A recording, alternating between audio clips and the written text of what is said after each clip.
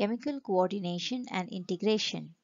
You have already learned that a point-to-point -point rapid coordination among organs is provided by the neural system.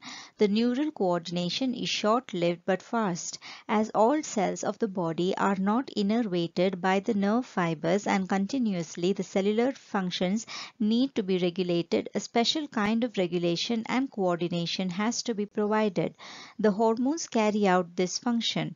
The physiological functions in the body is jointly coordinated and regulated by the neural system and the endocrine system. Endocrine glands and hormones.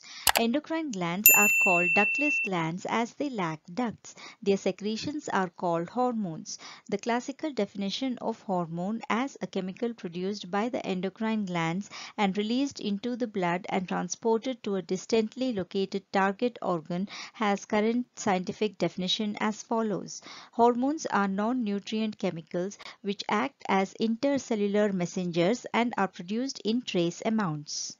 A number of new molecules are covered by the new definition in addition to the hormones secreted by the organized endocrine glands. Very simple endocrine system are present in invertebrates with few hormones whereas in vertebrates a large number of chemicals act as hormones and provide coordination. The human endocrine system is described here. Human endocrine system. The endocrine system possesses the endocrine glands and hormone producing diffused cells or tissues located in different parts of our body. In our body, pituitary, pineal, thyroid, adrenal, pancreas, parathyroid, thymus and gonads are the organized endocrine bodies. In addition to these, hormones are also produced by some other organs, example gastrointestinal tract, liver, kidney, heart. The hypothalamus. The hypothalamus is the basal part of diencephalon forebrain and it regulates a wide spectrum of body functions. Several groups of neurosecretory cells called nuclei are present in them and they produce hormones. The synthesis and secretion of pituitary hormones are regulated by these hormones.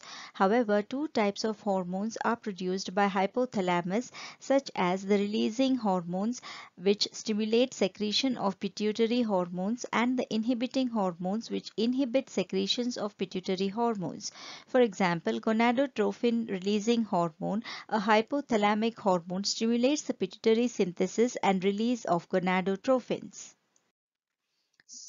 Somatostatin from the hypothalamus on the other hand inhibits the release of growth hormone from the pituitary. Originating in the hypothalamic neurons, these hormones pass through axons and from their nerve endings they are released. Through a portal circulatory system, these hormones reach the pituitary gland and regulate the functions of the anterior pituitary. The posterior pituitary is under the direct neural regulation of the hypothalamus. The pituitary gland. In a bony cavity called sella turcica, the pituitary gland is present which is attached to hypothalamus by a stalk. Anatomically, the pituitary gland is divided into an adenohypophysis and neurohypophysis. In adenohypophysis, two portions are present, namely pars distalis and pars intermedia. In the pituitary, the pars distalis region, commonly called anterior pituitary, produces growth hormone, prolactin, thyroid stimulating hormone, adrenocorticotropic hormone, luteinizing hormone, and follicle stimulating hormone. Only one hormone called melanocyte stimulating hormone is secreted by pars intermedia. However, pars intermedia is almost merged with pars distalis in humans. Posterior pituitary, also called neurohypophysis, releases and stores two hormones, namely oxytocin and vasopressin, that are synthesized actually by the hypothalamus and are axonally transported to neurohypophysis. Abnormal growth of the body stimulated by the oversecretion of GH leads to gigantism and stunted growth resulting in pituitary dwarfism is caused due to low secretion of GH. The growth of the mammary glands and formation of milk in them is regulated by prolactin. The synthesis and secretion of thyroid hormones from the thyroid gland is stimulated by TSH. The synthesis and secretion of steroid hormones called glucocorticoids from the adrenal cortex is stimulated by ACTH. The gonadal activity is stimulated by LH and FSH due to which they are called gonadotrophins. The LH in males stimulates the synthesis and secretion of hormones from testes called androgens. Spermatogenesis in males is regulated by FSH and androgens. Ovulation of fully mature follicles in females is induced by LH. After ovulation, it also maintains the corpus luteum formed from the remnants of the Graafian follicles. FSH in females stimulates the development and growth of the ovarian follicles. The melanocytes are acted upon by MSH which regulates the pigmentation of the skin. The smooth muscles of our body are acted upon by oxytocin which stimulates their contraction. In females at the time of childbirth and milk ejection from the mammary glands, it stimulates a vigorous contraction of uterus. Mainly vasopressin acts at the kidney and by the distal tubule stimulates resorption of water and electrolytes thereby reducing loss of water through urine. Hence it is also called as antidiuretic hormone. The pineal gland. On the dorsal side of forebrain, the pineal gland is present. A hormone called melatonin is secreted by pineal gland. A very important role in the regulation of a 24-hour rhythm of our body is played by melatonin.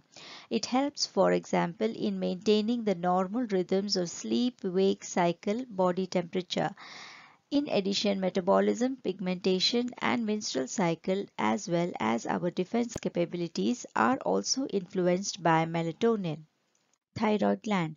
Two lobes located on either side of the trachea constitute the thyroid gland. A thin flap of connective tissue called isthmus interconnects both the lobes. Follicles and stromal tissues constitute the thyroid gland. Follicle of each thyroid is composed of follicular cells enclosing a cavity. Two hormones are synthesized by these follicular cells namely tetraiodothyronine or thyroxine and triiodothyronine. In the thyroid, the normal rate of hormone synthesis iodine is essential. In our diet, deficiency of iodine results in the enlargement of thyroid gland commonly called goiter and in hypothyroidism. During pregnancy, hypothyroidism causes defective development and maturation of the growing baby leading to stunted growth and low intelligence quotient, mental retardation, deaf mutism, abnormal skin, etc. In adult women, menstrual cycle can become irregular due to hypothyroidism. Due to development of nodules of the thyroid gland or due to thyroid gland cancer, there is increase in the rate of synthesis and secretion of the thyroid hormones to abnormal high levels which leads to the condition called hyperthyroidism where the body physiology is adversely affected. In the regulation of the basal metabolic rate, an important role is played by thyroid hormones. Also, the process of red blood cell formation is supported by these hormones. The metabolism of carbohydrates, proteins and fats is controlled by thyroid hormones. Also, the thyroid hormones influence the maintenance of water and electrolyte balance. A protein hormone called thyrocalcitonin is secreted by thyroid gland which regulates the blood calcium levels. Parathyroid gland. In humans, on the back side of the thyroid gland, four parathyroid glands are present, one pair each in the two lobes of the thyroid gland. A peptide hormone called parathyroid hormone is secreted by the parathyroid glands. By the circulating levels of calcium ions, the secretion of PTH is regulated. In the blood, parathyroid hormone increases the calcium ion levels. On bones, PTH acts and stimulates the process of bone resorption. Reabsorption of calcium ions by the renal tubules is stimulated by PTH and from the digested food it also increases the calcium ion absorption. Thus, it is clear that PTH increases the blood calcium levels and it is a hypercalcemic hormone. It plays a significant role in calcium balance in the body along with TCT. Thymus. A lobular structure that is the thymus gland is located on the dorsal side of the heart and the aorta. In the development of the immune system, a major role is played by the thymus gland. The peptide hormones called thymosins is secreted by this gland. In the differentiation of T lymphocytes which provide cell-mediated immunity, thymosins play a major role. In addition to provide humoral immunity, thymosins also promote production of antibodies. A decreased production of thymosins results as the thymus is degenerated in old individuals. The immune responses of old persons as a result become weak. Adrenal gland. One pair of adrenal glands, one at the anterior part of each kidney is present in our body. Two types of tissues are present in the gland. Adrenal medulla is a tissue located centrally and adrenal cortex lies outside this. Two hormones are secreted by the adrenal medulla namely adrenaline or epinephrine and noradrenaline or norepinephrine and they are commonly called catecholamines. In response to stress of any kind and during emergency situations, adrenaline and noradrenaline are rapidly secreted and are hence called emergency hormones or hormones of fight or flight. Increased alertness, pupillary dilation, piloerection, sweating, etc. are caused by these hormones. Increase in heartbeat and strength of heart contraction and the rate of respiration is brought about by both these hormones. An increased concentration of glucose in blood results as the catecholamines stimulate the breakdown of glycogen.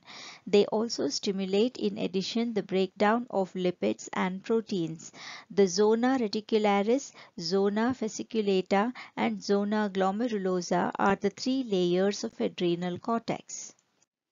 Many hormones commonly called as corticoids are secreted by the adrenal cortex. The corticoids called glucocorticoids are involved in carbohydrate metabolism. The main glucocorticoid in our body is cortisol. In our body, mineralocorticoids are the corticoids which regulate the balance of water and electrolytes. The mineralocorticoid called aldosterone is the main mineralocorticoid in our body. Gluconeogenesis, lipolysis and proteolysis are stimulated by glucocorticoids and it inhibits the cellular uptake and utilization of amino acids. In the maintenance of the cardiovascular system as well as the kidney functions, cortisol is also involved. Anti-inflammatory reactions and suppression of the immune response is produced by glucocorticoids in particular cortisol. The RBC production is stimulated by cortisol. The reabsorption of sodium ion and water and excretion of potassium ion and phosphate ions is stimulated by aldosterone which acts mainly at the renal tubules. Aldosterone thus helps in the maintenance of electrolytes, body fluid volume, osmotic pressure and blood pressure. The adrenal cortex secretes small amounts of androgenic steroids which during puberty play a role in the growth of axial hair, pubic hair and facial hair. Pancreas a composite gland which acts as both exocrine and endocrine gland is the pancreas. The islets of Langerhans are present in the endocrine pancreas. In a normal human pancreas, there are about 1 to 2 million islets of Langerhans representing only 1 to 2 percent of the pancreatic tissue. Alpha cells and beta cells are the two main types of cells in the islet of Langerhans. A hormone called glucagon is secreted by the alpha cells while insulin is secreted by the beta cells. A peptide hormone called glucagon plays an important role in maintaining the normal blood glucose levels. On the liver cells, mainly glucagon acts and it stimulates glycogenolysis which results in an increased blood sugar. In addition, the process of gluconeogenesis is stimulated by this hormone which also contributes to hyperglycemia.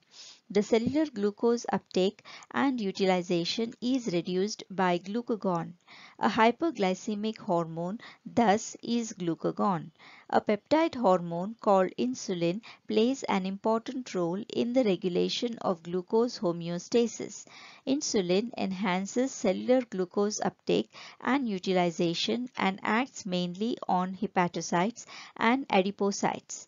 As a result, from blood to hepatocytes and adipocytes, there is a rapid movement of glucose resulting in decreased gluco blood glucose levels. Insulin is the, in the target cells also stimulates conversion of glucose to glycogen. Insulin and glucagons jointly maintain the glucose homeostasis in blood. Diabetes mellitus a complex disorder caused by prolonged hyperglycemia is associated with loss of glucose through urine and formation of ketone bodies which are harmful compounds. Successfully with insulin therapy, diabetic patients are treated. Testis. In the scrotal sacs of male individuals, a pair of testes is present. Dual functions are performed by testes as a primary sex organ as well as an endocrine gland. Testis is composed of seminiferous tubules and stromal or interstitial tissue. A group of hormones called androgens, mainly testosterone, are produced by the Leydig cells or interstitial cells which are present in the intertubular spaces. The development, maturation and functions of the male accessory sex organs like epididymis, vas deferens, seminal vesicle, prostate gland, urethra, etc. are regulated by the androgens. Muscular growth, growth of facial and axillary hairs, aggressiveness, low pitch voice, etc. are stimulated by these hormones. In the process of spermatogenesis, a major stimulatory role is played by the androgens. Androgens influence the male sexual behavior as well as act on the central neural system. These hormones on protein and carbohydrate metabolism produce anabolic effects. Ovary. In the abdomen, females have a pair of ovaries. In females, the primary sex organ is ovary, which during each menstrual cycle produces one ovum. In addition, two groups of steroid hormones are also produced by ovaries, namely estrogen and progesterone. Ovarian follicles and stromal tissues forms the ovary. By the growing ovarian follicles, mainly estrogen is synthesized and secreted. The ruptured follicle after ovulation is converted into a structure called corpus luteum which mainly secretes progesterone. Wide-ranging actions are produced by estrogens such as stimulation of growth and activities of female secondary sex organs, developing of growing ovarian follicles, appearance of female secondary sex characters, mammary gland development. Female sexual behavior is also regulated by estrogens. Pregnancy is supported by progesterone. On the mammary glands, progesterone acts and it also stimulates the formation of alveoli and milk secretion hormones of heart, kidney and gastrointestinal tract. However, hormones as mentioned earlier are also secreted by some tissues which are not endocrine glands. For example, a very important peptide hormone called atrial natriuretic factor secreted by the atrial walls of our heart decreases blood pressure. ANF is secreted when blood pressure is increased and it causes dilation of the blood vessels which reduces the blood pressure. The peptide hormone called erythropoietin is produced by the juxtaglomerular cells of kidney which stimulates erythropoiesis. In different parts of the gastrointestinal tract, endocrine cells are present and they secrete four major peptide hormones namely gastrin, secretin, cholecystokinin and gastric inhibitory peptide. On the gastric glands, gastrin acts and stimulates the secretion of hydrochloric acid and pepsinogen. On the exocrine pancreas, the hormone uh, secretin acts and stimulates secretion of water and bicarbonate ions. On pancreas and gallbladder, hormone CCK acts and stimulates the secretion of pancreatic enzymes and bile juice. Gastric secretion and motility is inhibited by the hormone GIP. Hormones called growth factors are secreted by several other non-endocrine tissues. For the normal growth of tissues and their repairing or regeneration, these factors are essential. Mechanism of hormone action. On target tissues, hormones produce their effects by binding to hormone receptors which are specific proteins located in the target tissues only. Membrane-bound receptors are the hormone receptors which are present on the cell membrane of the target cells and intracellular receptors are the receptors present inside the target cell which are mostly nuclear receptors. A hormone receptor complex is formed by the binding of a hormone to its receptor. Receptors are specific as each receptor is specific to one hormone only. In the target tissue hormone receptor complex formation leads to certain bio biochemical changes. Hormones regulate physiological functions and target tissue metabolism. Hormones can be divided into groups on the basis of their chemical nature. 1. Peptide, polypeptide, protein hormones. 2. Steroids. 3. Iodothyronines. 4. Amino acid derivatives. Normally, membrane-bound receptors that the hormones interact with do not enter the target cell but generate second messengers which in turn regulate cellular metabolism. The intracellular receptors with whom the hormones interact with mostly regulate gene expression or chromosome function by the interaction of hormone receptor complex with the genome. Physiological and developmental effects result due to cumulative biochemical actions.